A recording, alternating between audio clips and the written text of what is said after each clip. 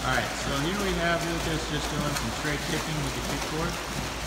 So you'll notice that his feet are right up at the top of the surface of the water, so he is actually making a splash, but he's really maintaining that very good body position there up at the top of the surface of the water. You notice also that his upper body has very minimal movement, right? We're not seeing any wiggle um, on his in his upper body and shoulders or anything like that. So as we uh, keep going, Lucas.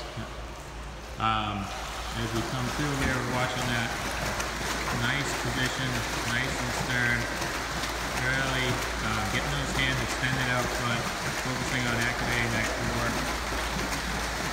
We got a you know, slight bend in the knee as we're coming through, back up um, with the kick to generate the propulsion we need, but keeping that good body position. So that's where our kicking looks like.